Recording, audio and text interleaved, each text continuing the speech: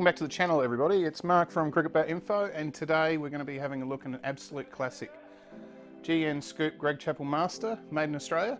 So firstly thank you very much to Pedro from the Discord server, also a close mate of mine and he's actually picked this one up on Gumtree and I think he said the story was that the guy who owned it uh, was playing cricket, uh, purchased the bat, hardly used it and did his knee. And just recently was cleaning out his cupboards, found the bat in the back of his cupboards and it's in immaculate condition, maybe a little bit of a line here, but you can see that it's hardly been used. And uh, it's a really good example of a classic uh, international bat. And I've obviously in the past uh, reviewed the modern scoop, GN100. But this is as much, I guess, a bit of a homage to the history of the bat. Um, I'll put an article, it was it put in The Guardian when the, um, the GN Scoop turned 40 and Swan Richards, who was the managing director and head bat maker of GN Australia originally, um, he posted it, I follow him on Facebook, and he had the original drawings that um, Len Newbery he was the head bat maker at Robertsbridge um, GN headquarters in the UK. And he designed uh, all the tooling to make the scoop long before it was available. And you can see these, these uh, pages that um, Swan refers to as having um, Len's original handwriting on them. Um, so Swan has got those and he lives in Melbourne and um, you can have a look at him on uh, Crusader Cricket Australia. Uh, but basically in the article he says that he did a 18 month crash course under Len and uh, John Newbery actually crafted the first GN 100 and obviously it all took off from there. So the GN 100, the Scoop, was a very, very popular bat used by probably you know 50% of the international players. Uh, and it was at that time where World Series cricket was coming in, and you were starting to see these players on TV.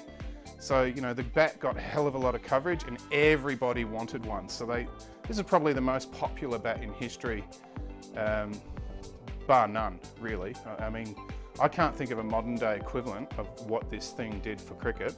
Everybody wanted to own one. And I think uh, I saw the retail prices. I think the top one was $75 or something. And, you know, like how much have prices shot up from there. So I don't really know a huge amount about the Master.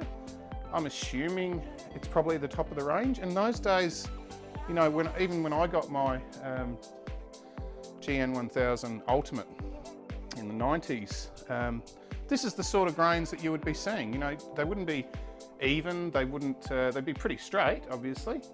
Um, but there was not sort of this whole thing about having perfectly straight grains and all that sort of things. People didn't think about bats that way. They were a tool for making runs. So it was more about how the bat picked up and how it was going to feel in your hands. And that was the thing about um, the scoop. And it's obviously just the amount of wood that is carved out of that bat. They bought the rights um, to market the bat with that perimeter weighting system, which was basically moving the weight to the outside of the bat by scooping it out of the centre.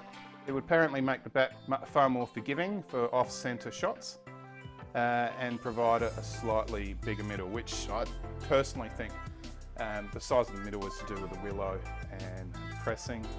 Uh, but it was not going to favour any particular point on the bat because, you know, it's just one long straight edge and um, the whole guts of it taken out it's really weird when you look at, especially for you young fellas, like looking at bats like this and thinking, you know, what the hell's going on? You know, where's my, where's my bat gone?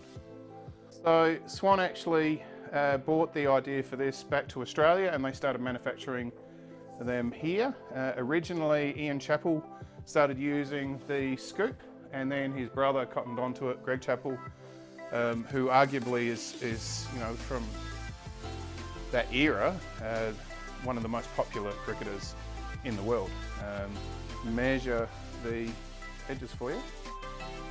And you know, with that huge convex face on it, you've got an 11 millimeter edge there and a 14 millimeter edge there. And in the center here, which isn't probably in about a mid to mid-low position, uh, we're looking at 20, 20 millimeters. Um, this says 107.1.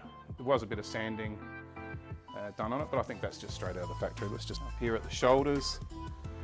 Uh, what sort of dimensions are we looking at? 37, a lot more wood up here at the shoulders, uh, leading into the handle. Let's just have a look at what the gauge sort of looks like on a bat like this. And you can see that traditional 8 millimeter camber, if not more, probably 9, I'd say it's about 8. Uh, a hell of a lot of wood uh, rounded out towards those edges. And that's why bats like this, you know, didn't really have as many problems with broken toes because there's just got this round toe with this round face. So the ball's more likely to deflect off of there rather than hit it and cause a massive amount of trauma on the bat and vibration that comes all the way down through to the handle, breaks shoulders, breaks toes.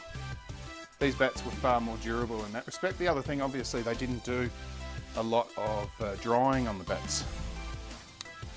When we put this on the back, I mean, just have a look at that gap there. Let's see if I can uh, measure it.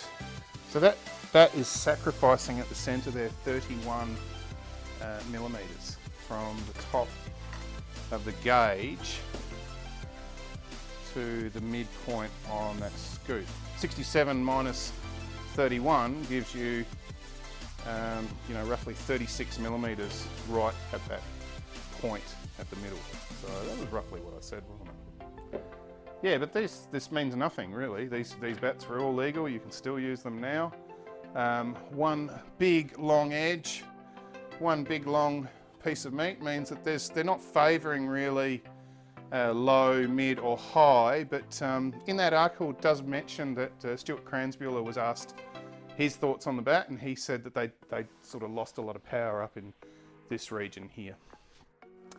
Now the other thing about that is, you know, taking all that weight out of that area there means the center of gravity moves, shifts towards the hands. So we should see a nice balance on this bat. Um, yeah, and that's pretty much perfect. Right in that point there. So it's gonna, it's a really lovely balanced bat. Um, yeah. I don't know what you would call that, that grade now. They'd probably classify that as grade three. Um, maybe grade two somebody would try, but I would say they'd call that a grade three. Just gonna zero this. And firstly, I'm gonna pick it up and I'm gonna tell you what I think it feels like. So that the pickup on this is absolutely incredible. It feels like I'm holding, oh God, like a 2.6 feels like a 2.6 in my hands, maybe a little bit heavier. Um, and the actual weight is 27.3. So it's picking up a little bit better than its weight. And obviously when you add things like a scuff sheet, uh, toe guard and things like that, then that weight uh, jumps up. Um, now the owners only changed the grip to a modern uh, zone grip. Obviously the original one was actually stuck to the handle. Um, let's have a look at that handle. So the handle is slightly semi-oval, almost square at the bottom, round at the top, thick. Uh, and under here, you can see much, much different um, inserts to what we've got these days. You've got a big S stamped in there and they look like it's some sort of rubber that's been used. Uh, it's actually got the little uh, threaded threads through it like, uh, like tyre rubber. Um, very thin binding. No stampings, nothing unusual there other than the S at the top. Uh, it says here, this is a quality article. I'd say that says English Willow under there. Um, um, yeah, they told you how to use the, look after the bat on the sticker. And up until, you know, the early 70s, Gray-Nicolls, you know, was the first to pioneer that big red sticker. Up until then, you know, bats just basically came out with Um, yeah, let's tap it up. So we'll move this to the side. Remembering this is 30 to 40 year old willow. Make sure that's in camera and we will start at the toe.